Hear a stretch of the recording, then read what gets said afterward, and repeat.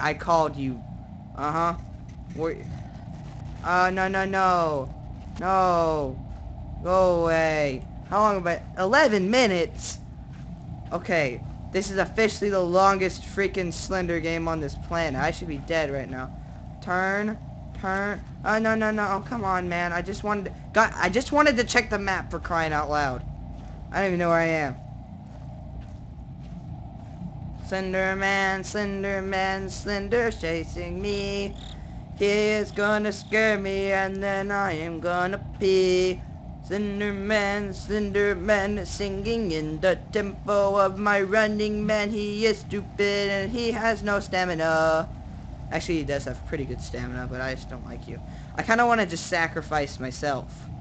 Should I do it? Should I sacrifice myself? and just end this torture. Ah! No! No!